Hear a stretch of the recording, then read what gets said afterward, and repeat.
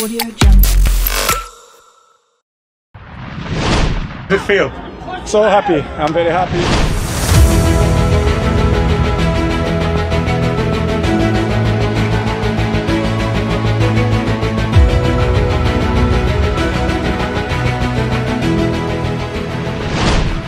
Cristiano Ronaldo dan Portugal akhirnya berhasil menyelesaikan misi mereka untuk lolos ke Piala Dunia tahun ini. Itu terjadi setelah skuad asuhan Fernando Santos tersebut menang atas Makedonia Utara dengan skor 2-0.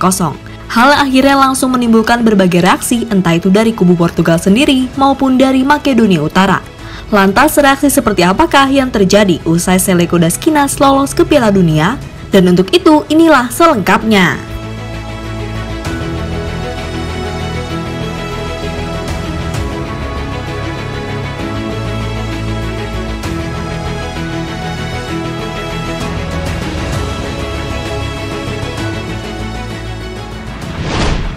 Misi terselesaikan. Itulah kalimat yang pantas untuk Portugal atas keberhasilan mereka lolos ke putaran final Piala Dunia tahun ini. Di mana dalam pertandingan yang diselenggarakan di Estádio do Dragão, Portugal menang melalui dua gol yang dicetak oleh Bruno Fernandes. Tentu keberhasilan juara Piala Eropa 2016 tersebut sekaligus membungkam kritikan yang sempat diterima. Karena sebelumnya Ronaldo dan kawan-kawan sempat diremehkan dan diprediksi tidak akan lolos. Mengingat yang akan lolos adalah Italia, negara yang setahun sebelumnya menjadi raja Eropa. Tapi kini semuanya berbanding terbalik saat Italia tersingkir dan tiket menuju Piala Dunia resmi digenggam oleh timnas Portugal.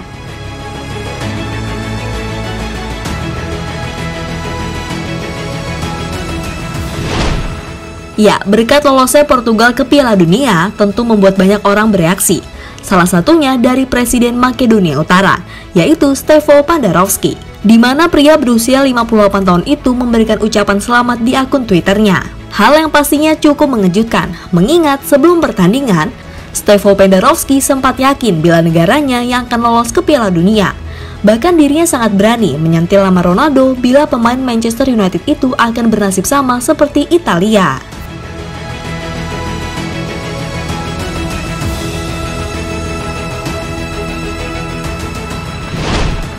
Selain dari Presiden Makedonia, reaksi juga datang dari Stefan Ristovski.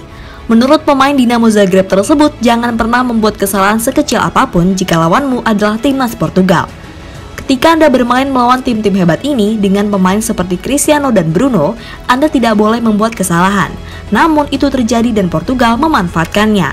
Kami melakukan yang terbaik, masih berusaha menyamakan kedudukan, tetapi dengan gol kedua itu terbukti terlalu banyak, kata Ritovski usai pertandingan.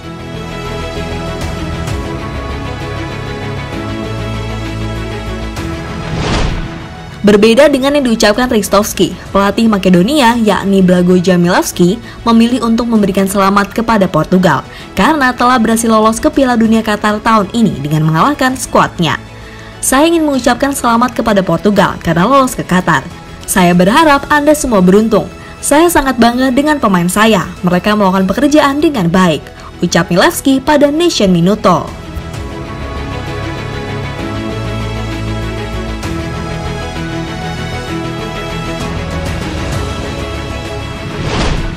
Sementara itu, usai membawa negaranya lolos ke Piala Dunia, Cristiano Ronaldo tampak bahagia bukan main. Dirinya pun sangat berterima kasih kepada semua orang Portugal yang tak henti-hentinya memberikan dukungan. Itu diucapkan oleh Ronaldo pada akun Instagramnya. Tujuan tercapai, kami berada di Piala Dunia Qatar. Kami berada di tempat yang layak. Terima kasih kepada semua orang Portugis atas dukungan yang tak kenal lelah. Ayo Portugal!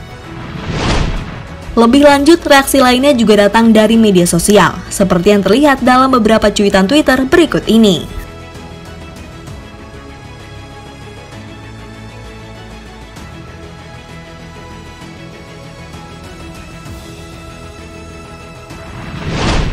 Jadi itulah reaksi dunia setelah melihat timnas Portugal lolos ke Piala Dunia usai dini hari tadi mengalahkan Makedonia Utara dengan skor 2-0.